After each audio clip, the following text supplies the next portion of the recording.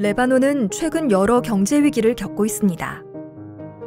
특히나 시리아 난민의 58%가 절대 빈곤 상태로 또한 76%는 하루에 4달러 이하로 생활하고 있는 상황인데요. 이러한 상황 속에서 비싼 의료 시스템을 이용하기는 어려운 일입니다.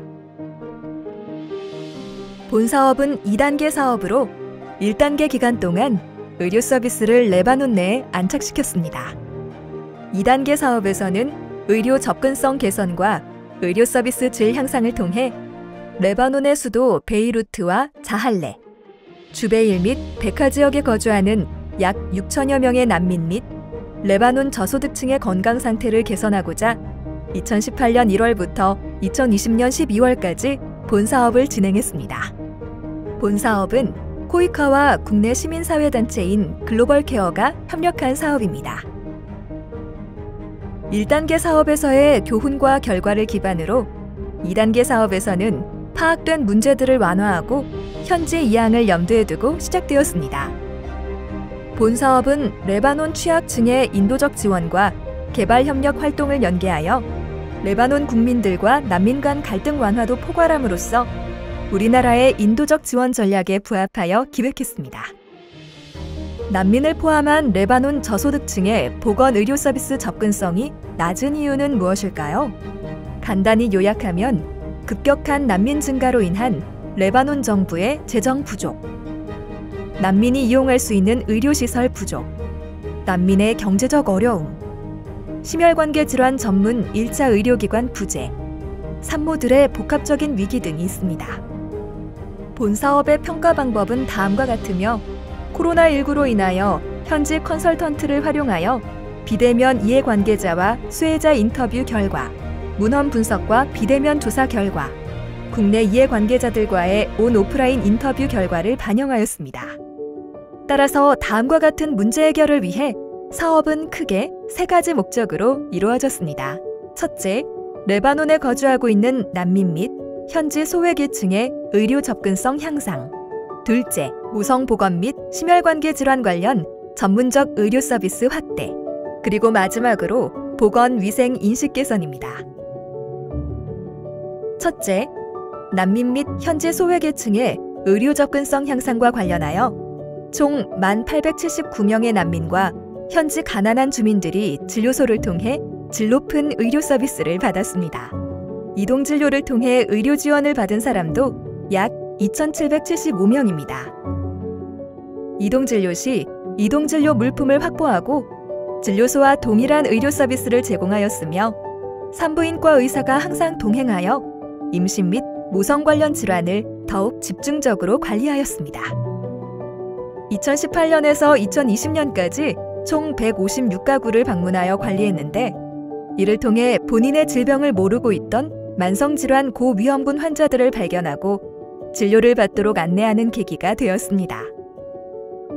둘째, 모성 보건 및 심혈관계 질환 관련 전문적 의료 서비스 확대입니다. 169명의 산모들이 사회에 산전 진찰을 받고 안전하게 아이들을 낳을 수 있었습니다. 특히 최신 진단 장비를 통한 산전 진찰 및 시술 치료 시스템은 모성 보건 프로그램과 연계하여 산전, 산후 검사와 관리로 이어졌습니다. 그리고 심혈관계 질환이 있는 690명의 환자들이 지속적인 치료를 받았습니다.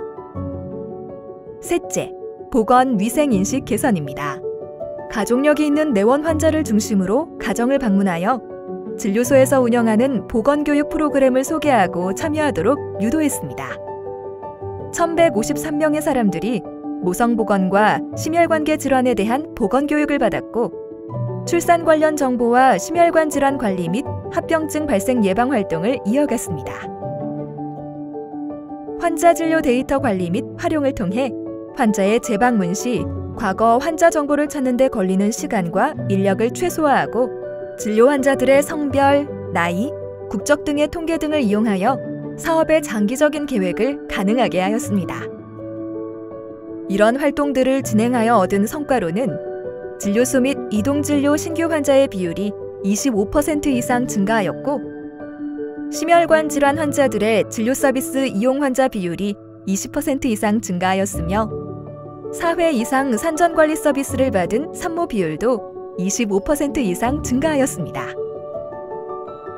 보건, 위생, 인식 개선 교육에 참여한 수혜자 수 달성률도 증가하였는데 이런 성과들은 코로나19 시기를 제외하고 사업 계획에서 세운 연간 목표치를 모두 초과 달성한 것으로 파악되었습니다. 본 사업에 대한 평가 결과에서 살펴본 성공 요인들은 무엇일까요?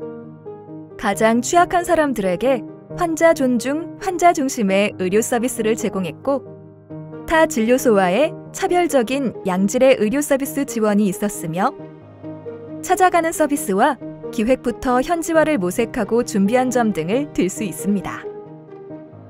첫째로 그 나라에서 가장 취약한 사람들에게 환자 존중, 환자 중심의 보건의료 서비스를 제공했습니다. 레바논 국적의 저소득 취약계층뿐 아니라 다양한 국가에서 온 노동자와 난민에게 국적이나 난민 등록증 유무와 상관없이 모두에게 동일한 서비스를 제공하였습니다. 특히나 사업 담당자, 현지 진료소 의사 및 관리자들은 환자들이 편안함을 느낄 수 있는 환경을 만들면서 특히 난민들의 낙인감 등을 해소해 의료시설 방문에 대한 장벽을 낮췄습니다. 둘째, 타 진료소와의 차별적인 양질의 보건의료 서비스를 지원했습니다. 설립 초기부터 각종 고급 의료기기를 확보하고 사용하여 질 높은 의료 서비스를 제공하였습니다. 또한 진료소 내 진료 과목의 다양화를 통해 2차 진료급으로 강화하여 수준 높은 의료 서비스를 제공하였습니다. 셋째, 취약계층의 가정 방문을 시행하고 정보들을 수집하여 지속적으로 관리하고 추적하였습니다. 일용직 등 노동 형태의 특성상 주간에 진료소에 가기 어려운 특성을 고려하여 찾아가는 서비스로 취약계층의 의료 접근성을 높이는 데 기여하였습니다. 넷째, 사업의 기획 단계부터 현지화를 모색하고 준비했습니다. 레바논 내 현재 의료인 네트워크 유관기관과 적극적으로 협력했습니다. 그 결과 현지 진료소는 장소 매입을 통해 장기적이고 지속적인 사업 운영 토대를 마련할 수 있었습니다. 이제 진료소 운영은 현지 리더십으로 완전히 이양되었습니다. 사업을 진행하면서 생긴 도전 과 제로는 국가의 정치, 경제, 사회적 변화 등 불안정한 상황과 그로 인한 진료소의 자립 위기입니다. 또한 성주류화에 대해서도 고려할 필요가 있었습니다. 레바논의 경제 상황은 2019년 경제 위기와 코로나19 팬데믹, 2020년 베이루트 대폭발 사건을 겪으며 매우 어려운 상태가 지속되었습니다. 이러한 국가의 위기는 진료소 자립에 부정적인 영향을 미치고 있습니다. 높은 기름값으로 인해 매주 진행하던 이동 진료를 지속하기 어려워졌고, 물가가 많이 오르면서 급여로는 생활하기 어려워져 의료진이 일자리를 찾아 해외로 이주하고 있습니다.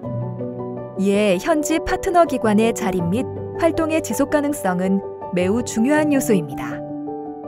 한편 당시에는 기획 단계에서 성주류화가 고려 사항이 아니었기에 젠더 분석이나 젠더 성과 지표가 제시되지 않았고 결과적으로 사업 추진 과정에서 나타난 성주류화 성과를 효과적으로 드러내지 못했습니다. 이에 평가팀의 사업 모델 변경 제언으로는 코이카, KCOC가 함께 변화이론 기반의 평가를 진행한 결과 현지 진료소가 자립하여 자체적으로 보건의료 서비스를 제공하는 성과가 발견되었습니다. 본 사업은 사업비가 투입되지 않았음에도 짧은 기간 내에 사업의 중장기적 목표를 달성했으므로 본 평가 과정에서 현지 이양을 성과로 포함했습니다. 이에 코이카도 사업 수행 기관이 이런 질적 성과를 포함하도록 적극적으로 권유해야 합니다.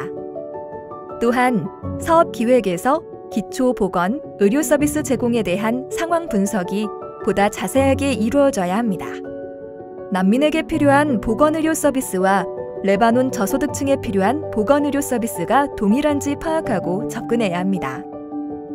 사업 관리 개선 제언과 관련해서는 본 사업과 같이 인도적 지원, 개발 평화 연계를 적용할 수 있는 사업의 경우 사업 환경 자체가 극심히 바뀔 수 있기에 사업 환경 변화에 따른 수요 변화, 사업 내용 변화, 예산 변경에 이르는 전 과정에서 사업 수행 기관이 유연하게 대처할 수 있도록 지침을 완화하고 권한을 확대할 필요가 있습니다. 그래서 세부 활동 변경, 산출물의 수량 및 종류의 변경 시 관리 지침의 유연성을 확대 적용해야 합니다. 시민사회 협력 사업에서의 지속 가능성은 현지의 오너십 구축, 양성, 확대에 방점을 두어야 합니다. 이런 부분은 정량적인 데이터로는 성과 파악에 한계가 있으므로 사업 수행 기관이 정성적인 데이터를 적극적으로 제시할 수 있도록 독려하고 관련 사례를 최대한 많이 확보하는 것이 바람직합니다. 다음으로 개발 환경 및 개입 특성상의 구조적 한계 분석 재현과 관련해서는 국가의 위기를 버텨낼 수 있는 사후 관리를 위한 추가 지원이 상황에 맞게 투입될 필요가 있습니다. 마지막으로 시민사회 프로그램에도 젠더와 인권이 주류화되어야 합니다. 젠더 인권 주류화를 통한 통합적 관리 및 사업 이전 단계에서의 젠더 인권 분석이 강화되어야 합니다.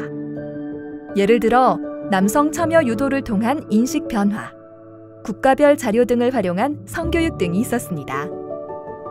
이상 종료 평가 결과를 통해 레바논 저소득층 보건 의료 지원 사업의 성과와 교훈에 대해 알아보았습니다. 여러분은 코이카가 난민과 같은 취약계층의 보건 상황을 개선하기 위해 어떤 노력이 더 필요하다고 생각하시나요? 여러분들의 자유로운 의견을 댓글로 달아주세요.